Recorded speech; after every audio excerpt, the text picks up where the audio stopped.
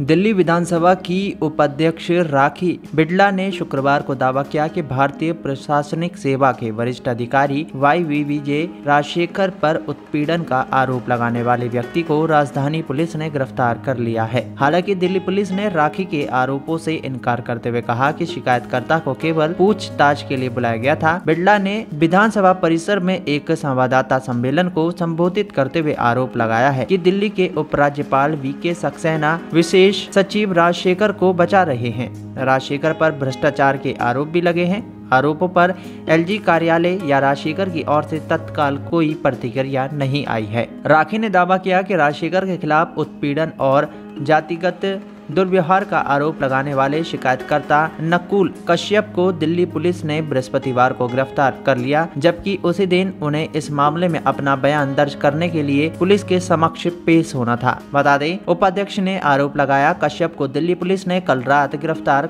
किया था। आई अधिकारी को एस सी समिति ने तेरह जून को तलब किया था, लेकिन वो नहीं आए। उन्होंने कश्यप पर अपनी शिकायत वापस लेने के लिए दबाव डालने की कोशिश की। उन्होंने कहा कि एस सी समिति ने कश्यप को सुरक्षा मुहैया कराने के लिए 14 जून को दिल्ली पुलिस को पत्र भी लिखा था। राखी ने कहा कि कश्यप शुक्रवार दोपहर दो बजे दिल्ली पुलिस के सामने अपना बयान देने वाले थे, लेकिन कल रात उन्हें गिरफ़्तार कर लिया गया। ऐसा दिल्ली के उपराज्यपाल के सहयोग से किया जा रहा है। उपराज्यपाल अधिकारियों को बचा रहे हैं। हालाँकि एक वरिष्ठ पुलिस अधिकारी ने कहा कि मामले में शिकायतकर्ता और उन्हें पूछताछ के लिए बुलाया गया था। कश्यप से पहले शिकायत थी कि वो अनुकंपा के आधार पर नियुक्ति के लिए अपने आवेदन के संबंध में राजशेखर से मिलने गए थे, लेकिन अधिकारी ने उनके साथ दुर्व्यवहार किया और अनुसूचित जाति और अनुसूचित जनजाति के लोगों के बारे में ऐसे शब्द का इस्तेमाल किया जो उन्हें नहीं कहना चाहिए था।